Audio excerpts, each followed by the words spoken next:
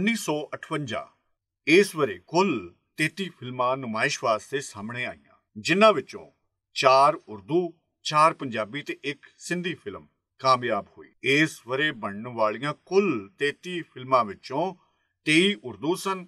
ਇਹਨਾਂ 23 ਫਿਲਮਾਂ ਵਿੱਚੋਂ ਨਿਰੀਆਂ 4 ਕਾਮਯਾਬ ਰਹੀਆਂ, ਬਾਕੀ 19 ਨਾਕਾਮ ਹੋਈਆਂ। ਇਸ ਵਰੇ ਪੰਜਾਬੀ ਦੀਆਂ ਕੁੱਲ 7 ਫਿਲਮਾਂ ਬਣੀਆਂ, ਜਿਨ੍ਹਾਂ ਵਿੱਚੋਂ 4 ਕਾਮਯਾਬ ਤੇ 3 ਨਾਕਾਮ ਉਧਰ ਸਿੰਧੀ ਫਿਲਮਾਂ ਵੀ ਖੁੱਲ ਕੇ ਸਾਹਮਣੇ ਆਉਣ ਲੱਗੀਆਂ। ਇਸ ਵਰੇ ਸਿੰਧੀ ਜ਼ੁਬਾਨ ਵਿੱਚ ਕੁੱਲ 3 ਫਿਲਮਾਂ ਬਣੀਆਂ, ਜਿਨ੍ਹਾਂ ਵਿੱਚੋਂ ਦੋ ਨਾਕਾਮ ਤੇ ਇੱਕ ਕਾਮਯਾਬ ਹੋਈ।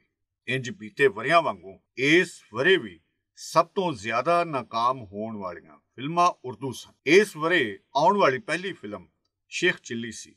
ਇਹ ਫਿਲਮ ਪੰਜਾਬੀ ਜ਼ੁਬਾਨ ਵਿੱਚ ਬਣੀ ਤੇ ਇਸ ਨੂੰ ਲੋਕਾਂ ਖੁੱਲੇ ਦਿਲ ਨਾਲ ਜੀ ਆਇਆ ਆਖਿਆ। ਇਸ ਫਿਲਮ ਦੇ ਹਿਦਾਇਤਕਾਰ ਅਨਵਰ ਕਮਾਲ ਪਾਸ਼ਾ ਸਨ ਤੇ ਮਖੌਲੀਆ ਅਦਾਕਾਰ ਆਸਫ ਜਾ ਹੀਰੋ ਸੀ। ਇਸ ਕਾਮਯਾਬ ਫਿਲਮ ਨੇ ਆਪਣੇ ਪਿੱਛੇ ਆਉਣ ਵਾਲੀਆਂ 10 ਫਿਲਮਾਂ ਨੂੰ ਸਿਰ ਨਹੀਂ ਚੁੱਕਣ ਦਿੱਤਾ। ਇਹਨਾਂ ਫੇਲ ਹੋਣ ਵਾਲੀਆਂ ਫਿਲਮਾਂ ਵਿੱਚ ਚੰਗੇਜ਼ ਖਾਨ ਬੇਗੁਨਾਹ ਨਇਆ ਜ਼ਮਾਨਾ ਨਇਆ ਦੌਰ, ਕੱਚੀਆਂ ਕਲੀਆਂ, ਲਖਪਤੀ, ਤਮੰਨਾ, ਦਿਲ ਮੇ ਤੂੰ, ਜਾਣੇ ਬਹਾਰ, ਜ਼ਹਿਰ ਇਸ਼ਕ ਤੇ ਹਸਰਤ ਸ਼ਾਮਲ ਹਨ। ਇਹਨਾਂ ਨਾਕਾਮ ਹੋਣ ਵਾਲੀਆਂ ਫਿਲਮਾਂ ਵਿੱਚ ਇੱਕ ਪੰਜਾਬੀ ਫਿਲਮ ਵੀ ਸ਼ਾਮਲ ਸੀ। ਹਸਰਤ ਤਕਨੀਕੀ ਪੱਖ ਤੋਂ ਇੱਕ ਚੰਗੀ ਫਿਲਮ ਸੀ, ਪਰ ਲੋਕਾਂ ਇਹਨੂੰ ਕਬੂਲ ਨਾ ਕੀਤਾ। ਸਿੰਧ ਵਿੱਚ ਸਿੰਧੀ ਫਿਲਮ ਪਰਦੇਸੀ ਨੇ ਆਪਣੀ ਕਾਮਯਾਬੀ ਦੇ ਝੰਡੇ ਗੱਡੇ ਕਿ ਇਹ ਸੁਪਰ ਹਿੱਟ ਫਿਲਮ ਮੰਨੀ ਗਈ। ਜਾਣੇ ਬਹਾਰ ਵਿੱਚ ਹੁਸਨਾ ਇੱਕ ਨਵੀਂ ਕੁੜੀ ਵਜੋਂ ਆਈ। ਇਸ ਫਿਲਮ ਵਿੱਚ ਸੁਧੀਰ ਨੇ ਕਰੈਕਟਰ ਰੋਲ ਕੀਤਾ।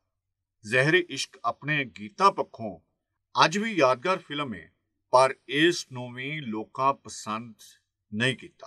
ਖਵਾਜਾ ਖੁਰਸ਼ੀਦ, ਅਨਵਰ ਹੁਰੀ ਆਪਣੇ ਖੇਤਰ ਵਿੱਚ ਕਾਮਯਾਬ ਰਹੇ। ਰਣਜੀਤ ਵਾਲੀਆ ਬੰਬੇ ਵਿੱਚ ਸ਼ਾਦੀ ਨਾਂ ਦੀ ਇੱਕ ਫਿਲਮ ਬਣਾਈ। ਉਸ ਦੀ ਕਹਾਣੀ ਮੁੰਸ਼ੀ ਦਿਲ ਹੁਰਾ ਲਿਖੀ। ਉਹਨਾਂ ਇਸੇ ਹੀ ਕਹਾਣੀ ਨੂੰ ਹਸਰਤ ਦੇ ਨਾਂ ਤੋਂ ਬਣਾਇਆ, ਪਰ ਰੱਦ ਹੋ ਗਈ। ਅਗਲੀ ਕਾਮਯਾਬ ਫਿਲਮ ਛੂ ਮੰਤਰ ਸੀ।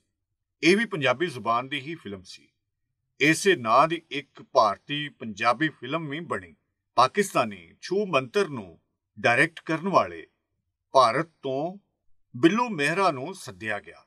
ਪਾਕਿਸਤਾਨੀ ਪੰਜਾਬੀ ਫਿਲਮ ਛੂ ਮੰਤਰ ਦਾ ਭਾਰਤੀ ਫਿਲਮ ਨਾਲ ਕੋਈ ਸੰਗਾ ਨਹੀਂ, ਸਿਵਾਏ ਨਾਂ ਦੇ।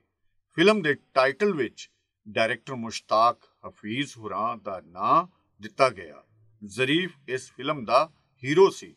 ਇਸ ਵਰੇ ਪੰਜਾਬੀ ਜ਼ੁਬਾਨ ਦੀਆਂ ਦੋ ਫਿਲਮਾਂ ਸ਼ੁਰੂ ਵਿੱਚ ਕਾਮਯਾਬ ਹੋਈਆਂ। ਇਹ ਦੋਵੇਂ ਫਿਲਮਾਂ ਹੀ ਮਖੌਲੀਆ ਸਨ। ਇਹਨਾਂ ਦੋਹਾਂ ਫਿਲਮਾਂ ਨੇ ਫਿਲਮ ਇੰਡਸਟਰੀ ਨੂੰ ਇੱਕ ਨਵੀਂ ਰਾਹ ਵਿਖਾਈ ਤੇ ਸੁਝਾਇਆ ਪਈ ਮਖੌਲੀਆ ਫਿਲਮਾਂ ਵੀ ਕਾਮਯਾਬ ਹੋ ਸਕਦੀਆਂ ਹਨ। ਅਨਾਰਕਲੀ ਉਰਦੂ ਜ਼ੁਬਾਨ ਦੀ ਫਿਲਮ ਨੂੰ ਉਹਦੀ ਅਤ ਸੋਹਣੀ ਮੌਸੀਕੀ ਵੀ ਨਾ ਬਚਾ ਸਕੀ। ਇਸ ਫਿਲਮ ਦੇ ਗੀਤ ਅੱਜ ਵੀ ਸੁਣੇ ਜਾਂਦੇ ਹਨ। ਮਾਸਟਰ ਇਨਾਇਤ ਹੁਸੈਨ ਅਤੇ ਰਸ਼ੀਦ ਅਤਰੇ ਹੋਰਾਂ ਇਹਦੀ ਮੌਸੀਕੀ ਤਰਤੀਬ ਦਿੱਤੀ। ਲਾਹੌਰ ਵਿੱਚ ਫਿਲਮ ਦੇ ਵਰਤਾਰੇ ਮਲਕ ਮੁਬਾਰਕ ਅਹਿਮਦ ਹੋਰਾਂ ਜੱਟੀ ਨਾਂ ਦੀ ਫਿਲਮ ਬਣਾਈ। ਪੰਜਾਬੀ ਜ਼ੁਬਾਨ ਦੀ ਇਸ ਫਿਲਮ ਤੇ ਪੰਜਾਬ ਦੀ ਜੱਟ ਬਰਾਦਰੀ ਨੇ ਚੰਗਾ ਰੌਲਾ ਪਾਇਆ, ਜਿਹਦੇ ਉੱਤੇ ਸੈਂਸਰ ਬੋਰਡ ਨੇ ਇਸ ਫਿਲਮ ਦਾ ਨਾਮ ਵਟਾਉਣ ਦਾ ਕਿਹਾ ਅਤੇ ਇਸ ਫਿਲਮ ਦਾ ਨਾਮ ਚੱਟੀ ਕਰ ਦਿੱਤਾ ਗਿਆ। ਇਹ ਬੜੀ ਕਾਮਯਾਬ ਫਿਲਮ ਸੀ। ਇਸ ਫਿਲਮ ਦੇ ਇੱਕ ਗੀਤ ਉੱਤੇ ਝਾੜੂ ਦੇਣ ਵਾਲਿਆਂ ਰੋਸ ਵਖਾੜਾ ਕੀਤਾ। ਉਸ ਗੀਤ ਦੇ ਬੋਲ ਸਨ, ਕੂੜੇ ਵਾਲੀ ਬਾਹ ਨਾ ਮਰੋੜ, ਝਾੜੂ ਵਾਲੇ ਹੱਥ ਜੋੜਦੀ। ਲਾਹੌਰ ਦੇ ਇੱਕ ਸਿਨੇਮੇ ਵਿੱਚ ਫਿਲਮ ਦੀ ਨੁਮਾਇਸ਼ ਵੇਲੇ ਜਦੋਂ ਸਕਰੀਨ ਉੱਤੇ ਇਸ ਗੀਤ ਦੇ ਬੋਲ ਆਏ ਤਾਂ ਸਕਰੀਨ ਨੂੰ ਗੋਲੀਆਂ ਮਾਰ ਕੇ ਪਾੜ ਦਿੱਤਾ ਗਿਆ। ਇਸ ਤੋਂ ਮਗਰੋਂ ਇਸ ਗੀਤ ਦੇ ਬੋਲ ਬਦਲ ਦਿੱਤੇ ਗਏ। ਨਵੇਂ ਬੋਲ ਹਨ, ਚੂੜੇ ਵਾਲੀ ਬਾਹ ਨਾ ਮਰੋੜ, ਮਹਿੰਦੀ ਵਾਲੇ ਹੱਥ ਜੋੜਦੀ। ਇੰਜ ਇਹ ਗੀਤ ਪਹਿਲੋਂ ਨਾਲੋਂ ਵੀ ਸੋਹਣਾ ਹੋ ਗਿਆ। ਇਹ ਗੀਤ ਅੱਜ ਵੀ ਉਨਾ ਹੀ ਹਰਮਨ ਪਿਆਰਾ ਹੈ ਜਿੰਨਾ ਅੱਜ ਤੋਂ 50 ਵਰੇ ਪਹਿਲੋਂ ਸੀ। ਸਗੀਰ ਜਾਫਰੀ ਜਿਹੜੇ ਦਿੱਲੀ ਤੋਂ ਆ ਕੇ ਲਾਹੌਰ ਵਸੇ ਸੀ, ਉਹਨਾਂ ਤਬਲੀਗੀ ਫਿਲਮ ਤੌਹੀਦ ਬਣਾਈ, ਜਿਹੜੀ ਲੋਕਾਂ ਰੱਦ ਕਰ ਦਿੱਤੀ। ਇਹ ਉੱਕਾ ਇੱਕ ਮਜ਼ਬੀ ਫਿਲਮ ਸੀ, ਜਿਹਨੂੰ ਕਬੂਲ ਨਾ ਕੀਤਾ ਗਿਆ। ਇਸ ਤੋਂ ਮਗਰੋਂ ਭਰੋਸਾ ਨਾਂ ਦੀ ਉਰਦੂ ਫਿਲਮ ਆਈ। ਇਹ ਫਿਲਮ ਕਹਾਣੀ ਤੇ ਮੁਕਾਲਮਿਆਂ ਪੱਖੋਂ ਕਾਮਯਾਬ ਸਾਬਤ ਹੋਈ। ਤੇ ਇਸ ਫਿਲਮ ਨੂੰ ਕਈ ਵਰਿਆਂ ਮਗਰੋਂ ਸਮਾਜ ਨਾਂ ਤੋਂ ਦੂਜੀ ਵਾਰ 1999 ਵਿੱਚ ਬਣਾਇਆ ਗਿਆ। ਇਸ ਤੋਂ ਮਗਰੋਂ ਰਿਆਜ਼ ਅਹਿਮਦ ਹੋਰਾਂ ਦੀ ਫਿਲਮ ਦਰਬਾਰ ਆਈ। ਇਹ ਫਿਲਮ ਵੀ ਕਾਮਯਾਬ ਰਹੀ। ਇਸ ਦੀ ਕਾਮਯਾਬੀ ਤੁਰਾ ਫਿਲਮ ਅੰਦਰ ਹੀਰੋ ਦਾ ਸ਼ੇਰ ਨਾਲ ਲੜਨਾ ਸੀ, ਜੋ ਕਿ ਪਹਿਲੀ ਵਾਰ ਕਿਸੇ ਫਿਲਮ ਵਿੱਚ ਵਿਖਾਇਆ ਗਿਆ ਸੀ। ਇਸੇ ਹੀ ਵਰੇ ਕਰਾਚੀ ਵਿੱਚ ਮੁਹੰਮਦ ਅਲੀ ਨਾਂ ਦੇ ਇੱਕ ਹਿਦਾਇਤਕਾਰ ਸਾਹਮਣੇ ਆਏ।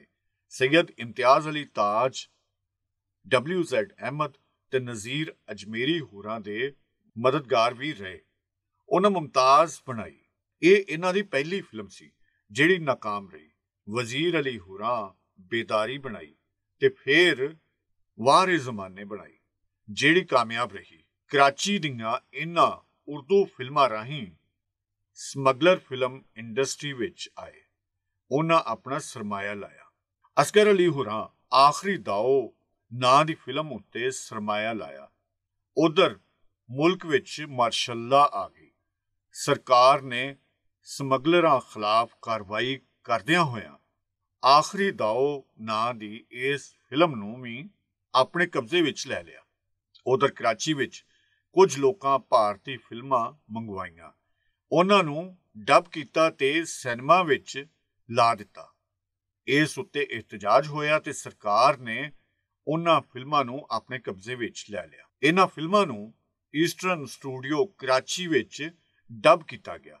ਇਸ ਦੀ ਵੱਡੀ ਵਜ੍ਹਾ ਤਾਂ ਪੈਸਾ ਕਮਾਣਾ ਹੀ ਸੀ, ਪਰ ਦੂਜੇ ਬੰਨੇ ਇਹ ਗੱਲ ਵੀ ਸੀ ਪਈ ਭਾਰਤੀ ਫਿਲਮਾਂ ਉੱਤੇ ਪਾਬੰਦੀ ਲੱਗਣ ਮਗਰੋਂ ਉਰਦੂ ਫਿਲਮ ਵਾਲਿਆਂ ਕੋਲੋਂ ਇੱਕ ਵੱਡੀ ਮੰਡੀ ਖੁੱਸ ਗਈ ਸੀ, ਜਿਸ ਦਾ ਉਹਨਾਂ ਨੂੰ ਇੱਕ ਵਰੇ ਵਿੱਚ ਹੀ ਅਹਿਸਾਸ ਹੋ ਗਿਆ। ਦੂਜੇ ਬੰਨੇ, ਅਜੇ ਉਰਦੂ ਫਿਲਮਾਂ ਦੇ ਟਾਕਰੇ ਉੱਤੇ ਭਾਰਤ ਦੀਆਂ ਫਿਲਮਾਂ, ਹਿੰਦੀ ਫਿਲਮਾਂ ਵੀ ਲੋਕ ਵੇਖਦੇ ਰਹਿੰਦੇ, ਤਾਂ ਫਿਰ ਉਰਦੂ ਜ਼ੁਬਾਨ ਦੇ ਵਖਰੇਵੇਂ ਵਾਲੀ ਗੱਲ ਛੇਤੀ ਹੀ ਖੁੱਲ ਜਾਣੀ ਸੀ। ਇੰਜ ਉਰਦੂ ਵਾਲਿਆਂ ਆਪਣੀ ਜ਼ੁਬਾਨ ਨੂੰ ਕੌਮੀ ਤੇ ਮੁਸਲਮਾਨਾਂ ਦੀ ਜ਼ੁਬਾਨ ਮਨਵਾਉਣ ਵਾਸਤੇ ਇੱਕ ਵੱਡੀ ਮੰਡੀ ਦੀ ਕੁਰਬਾਨੀ ਦੇ ਦਿੱਤੀ। ਇਸ ਵਰੇ ਪੰਜਾਬੀ ਦੀਆਂ ਨਾਕਾਮ ਹੋਣ ਵਾਲੀਆਂ ਫਿਲਮਾਂ ਵਿੱਚ ਜੱਗਾ ਤੇ ਘਰ ਜਵਾਈ ਸ਼ਾਮਲ ਸਨ। ਇਸ ਫਿਲਮ ਦੇ ਹਿਦਾਇਤਕਾਰ ਅਨਵਰ ਕਮਾਲ ਪਾਸ਼ਾ ਗਰੁੱਪ ਦੇ ਐਸ ਏ ਰਸ਼ੀਦ ਸਨ। ਇਹ ਸਾਂਝੇ ਹਿੰਦੁਸਤਾਨ ਦੇ ਮਸ਼ਹੂਰ ਫਿਲਮੀ ਜਰਨਲਿਸਟ ਸਨ, ਪਰ ਉਹ ਇਸ ਫਿਲਮ ਨੂੰ ਕਾਮਯਾਬ ਨਾ ਕਰਵਾ ਸਕੇ। ਇਸ ਵਰੇ ਵੀ ਅਖੀਰੀ ਉਰਦੂ ਫਿਲਮ ਅਸ਼ਫਾਕ ਮਲਕ ਹੁਰਾਂ ਦੀ ਆਖਰੀ ਨਿਸ਼ਾਨ ਸੀ, ਜਿਹੜੀ ਕਾਮਯਾਬ ਰਹੀ। ਇਸ ਵਰੇ ਦੀ ਸਭ ਤੋਂ ਅਹਿਮ ਤੇ super hit Punjabi film Mukhra ਸੀ ਤੇ ਇਹੀ ਇਸ ਵਰੇ ਦੀ ਸਰਤਾਜ ਫਿਲਮ ਸੀ। ਇਸ ਫਿਲਮ ਦੇ ਹਿਦਾਇਤਕਾਰ ਜਾਫਰ ਮਲਕ, ਸੰਗੀਤਕਾਰ ਰਸ਼ੀਦ ਅਤਰੇ, ਗੀਤਕਾਰ ਵਾਰਿਸ ਲੁਧਿਆਣਵੀ ਅਤੇ ਫਿਲਮ ਬਣਾਉਣਹਾਰ ਮੀਆਂ ਐਹਸਾਨੁਲ ਹਕ ਸਨ। ਸਬੀਆ ਹੀਰੋਇਨ ਸੰਤੋਸ਼ ਕੁਮਾਰ ਹੀਰੋ, ਆਸ਼ਾ ਭੋਸਲੇ, ਨਜ਼ਰ ਅਲਾਉਦੀਨ, ਗੁਲਾਮ ਮੁਹੰਮਦ, ਜੀ ਐਨ ਬੱਟ ਤੇ ਕਮਲਾ ਨੇ ਵੀ ਆਪੋ ਆਪਣੇ ਪਾਤਰ ਨਿਭਾਏ। ਮੁਖੜਾ ਇੱਕ ਇਸ਼ਕੀਆ ਫਿਲਮ ਸੀ। ਉਤੋਂ ਰਸ਼ੀਦ ਅਤਰੇ ਦੀ ਮੌਸੀਕੀ ਨੇ ਇਹਨੂੰ ਹੋਰ ਹੀ ਸਜਾ ਦਿੱਤਾ।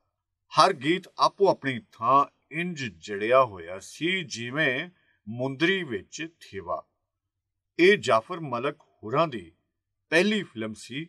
ਇਸ ਵਿੱਚ ਨਜ਼ਰ ਦਾ ਮਖੌਲੀਆ ਪਾਤਰ ਸਬੀਹਾ ਤੇ ਸੰਤੋਸ਼ ਦੇ ਇਸ਼ਕੀਆ ਮਨਾਜ਼ਰ ਲੋਕਾਂ ਦੇ ਹਿਰਦੇ ਉੱਤੇ ਰਾਜ ਕਰਨ ਲੱਗੇ। ਇਸ ਫਿਲਮ ਦੇ ਗੀਤ ਜਿਹੜੇ ਇਸ ਦਾ ਵੱਡਾ ਸੁਪਨ ਸਨ, ਉਹਨਾਂ ਵਿੱਚੋਂ ਵਨਗੀ ਦੇ ਤੌਰ। ਨੰਬਰ 1 ਦਿਲਾ ਠਹਿਰ ਜਾ ਯਾਰ ਦਾ ਨਜ਼ਾਰਾ ਲੈਣ ਦੇ। ਨੰਬਰ 2 ਮੇਰਾ ਦਿਲ ਚੰਨਾ ਕੱਚ ਦਾ ਖਿਡੌਣਾ। ਇਹਦੇ ਨਾਲ ਜੇ ਤੂੰ ਦਿਲ ਪਰਚਾਉਣਾ ਤੇ ਵੇਖੀ ਇਹਨੂੰ ਤੋੜ ਨਾ ਦੇਵੀਂ। ਇਹ ਗੀਤ ਅੱਜ ਵੀ ਕੰਨਾਂ ਵਿੱਚ ਰਸ ਘੋਲਦਾ ਹੈ। ਇਸ ਵਰੇ ਦੀ ਸਭ ਤੋਂ ਦੁੱਖ ਦੇਣ ਵਾਲੀ ਗੱਲ ਅਦਾਕਾਰ ਨਾਇਬ ਸਰਹੱਦੀ ਹੋਰਾਂ ਦੀ ਮੌਤ ਸੀ। ਉਹਨਾਂ ਅਖੀਰੀ ਸਾਹ ਲਾਹੌਰ ਵਿੱਚ ਲਿਆ ਤੇ ਆਪਣੇ ਰੱਬ ਨੂੰ ਜਾ ਮਿਲੇ। ਇਸ ਵਰੇ ਦੀ ਫਿਲਮੀ ਖੋਜ ਪਰਖ ਵਿੱਚ ਵਰਤੇ ਜਾਣ ਵਾਲੇ ਰਸਾਲੇ ਅਖਬਾਰਾਂ, ਕਿਤਾਬਾਂ ਤੇ ਰਿਸਰਚ ਆਰਟੀਕਲਸ ਦੇ ਹਵਾਲੇ। Number 1 ਹਫਤਾਵਾਰ, Nigar golden jubilee number 2000 Karachi, ਸਫਰ ਨੰਬਰ 39 ਨੰਬਰ 2 ਹਫਤਾਵਾਰ, ਨਿਗਾਰ 골ਡਨ ਜੁਬਲੀ ਨੰਬਰ 2000 सफ़ा नंबर उनतालीस। नंबर तीन, हफ्तावार निगार गोल्डन जुबली नंबर, सफ़ा नंबर उनतालीस। नंबर चार, हफ्तावार निगार गोल्डन जुबली नंबर, सफ़ा नंबर उनतालीस। नंबर पाँच, हफ्तावार निगार गोल्डन जुबली नंबर, सफ़ा नंबर उनतालीस। नंबर छह, हफ्तावार निगार गोल्डन जुबली नंबर, सफ़ा नंबर उनतालीस। नंबर सात, हफ्तावार निगार गोल्डन जुबली नंबर, सफ़ा नंबर उनतालीस। नंबर आठ, हफ्तावार निगार गोल्डन जुबली नंबर, सफ़ा नंबर उनतालीस। ਜੁਬਲੀ ਨੰਬਰ ਸਫਾ number 39 number 9 Yasin Gureja Pakistan millennium directory 2003 Lahore ਸਫਾ ਨੰਬਰ 100 ਨੰਬਰ 10 ਇਖਲਾਕ ਆਤਿਫ ਗੀਤਾਂ ਦੀ ਗੂੰਜ Punjab institute of language art and culture Lahore 2007 ਸਫਾ ਨੰਬਰ 55 ਨੰਬਰ 11 ਹਫਤਾਵਾਰ ਨਿਗਾਰ 골ਡਨ ਜੁਬਲੀ ਨੰਬਰ ਸਫਾ ਨੰਬਰ 449